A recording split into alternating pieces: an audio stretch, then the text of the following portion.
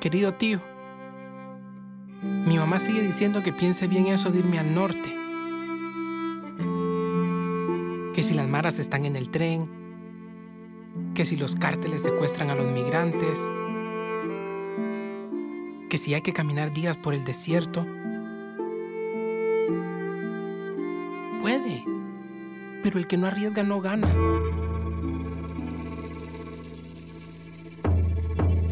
Ya me veo allá en los estados ganando manojos de dólares y mi mamá aquí sin preocupaciones.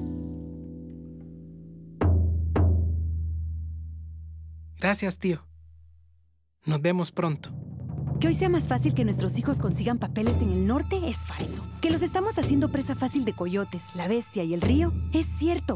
Ellos son nuestro futuro. Protejámoslos.